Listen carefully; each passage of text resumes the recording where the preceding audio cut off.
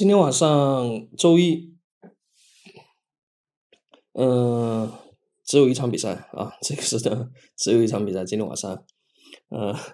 那想挑也想挑也没得挑是吧？这一场比赛，呃，不过这场比赛我倒是觉得呃还不错啊，还不错，所以给大家呃一枝独秀吧啊，秀一下今天晚上这场比赛。呃，来看一下，现在还有五分钟开赛啊，这场比赛。呃，为什么我觉得这场比赛不错呢？这个这个盘口其实蛮有教学意义的啊。呃，首先从这个对战往绩上看，这两队二一年、二零年都有过这个对战啊。然后主队这个诺顿呃诺多顿啊，诺多顿碾压了这个罗森伯格 B 队啊后备队啊，这个是罗森伯格是呃挪超的联赛的队伍，呃实力算是中上吧，他的主队呃实力算是中上吧，然后这支后备队的话，作为一个次级联赛来讲的话，其实水平跟实力应该不会太差啊，但是这个表现实在差的不行啊。看来这个后备队不是一个妈生的啊。呃，这个主队的话，完全是实力碾压啊，完全实力碾压。然后对战往绩上来看的话，虽然说整体不是很漂亮啊，但是怎么也得比这个客队好啊。客队是一塌糊涂啊。呃，看这个防守力简直就是惨不忍睹的一个防守能力啊。呃，然后进攻也很疲态啊。那整体上来这个来看的话，这个基本面就没有什么好分析的，基本面完全就是一边倒的这种形式啊。那盘口盘口就有意思了啊。这盘口，呃，主队是球半啊，球半起步，球半起步，这个开盘没有什么问题啊，一点水分都没有啊。球半起步，然后升盘，呃，升盘了之后呢，在临场啊，因为这个是凌晨的比赛，然后临场啊是二十三点十五分啊，这个时间段啊，直接跳空跳了多少个盘口啊？从球半两球到两球一个，然后两球两球半跳了两个盘口，然后水位跳空了之后水位还压下来，呃，这个这个玩法很刺激啊，这个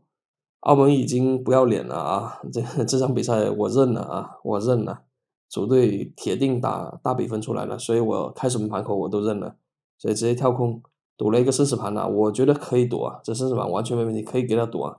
啊，庄家都给你开生死盘了，你就跟他赌吧。这个庄家的这个盘口还是没问题的啊。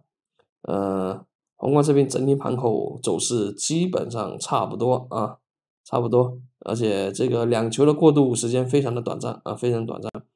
然后水位是给的相对高了一点啊，但是呃，正是因为其他公司的这个水位都相对高一点的情况之下。澳门直接压了零点五五啊，我觉得这个事情就有的玩了啊。澳门压了一个零点五五就有的玩了，呃，当然个别的还有一个零点九六的，我不知道这个数据是不是呃更新延迟啊？那这个不太可能啊，光是这个这个水位的话，打水都要打死它了啊，所以这个水位基本上不可能了。嗯、你看一下这个零点九六，这个一点一九，这两个水位的话，直接打水的话，那能能把庄家给打死了。呵 呵这个数据应该是有延迟的了。好，开赛了啊！那开赛就不多说了，这场比赛啊，直接干到一个两球半啊，直接走地盘，直接干到两球半。我觉得赢三球应该没什么问题啊！这场比赛直接，呃，庄家难得的一场送红包的比赛，呃，散户不能不给面子啊！这红包要不收的话，这个也不行啊，人品不行啊，是吧？啊，这个今天晚上庄家发红包了啊！呃，主队，呃，直接上到两球半的盘口，啊，这一场比赛可以中注啊，可以中注啊，我很少推这种大盘口中注，但是这一场例外啊，啊，直接干中注，问题不大，好吧，那就这样，祝大家明天醒来都能收红包。呃，昨天这一场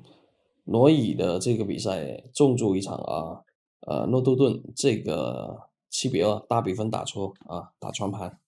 呃，赢三球穿盘啊，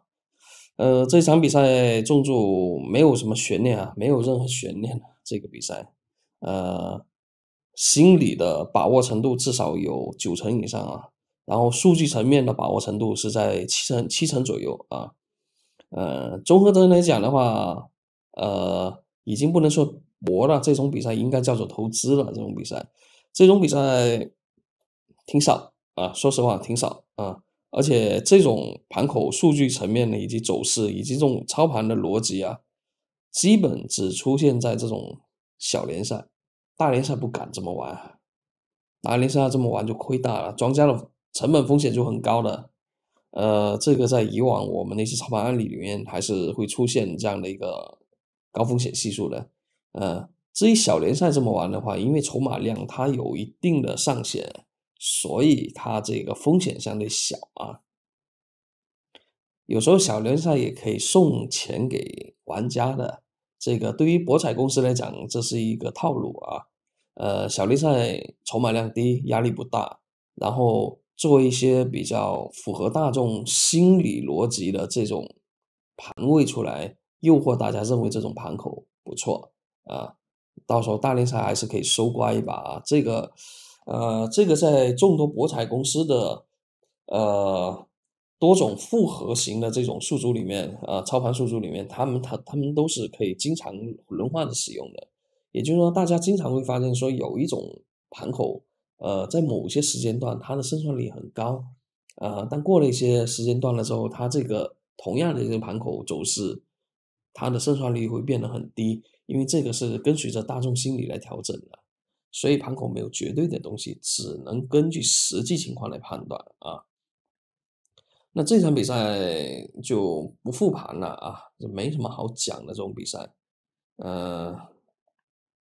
那大家留意一下就好了，好吧？啊，这一期还是感谢大家的支持啊，下期见。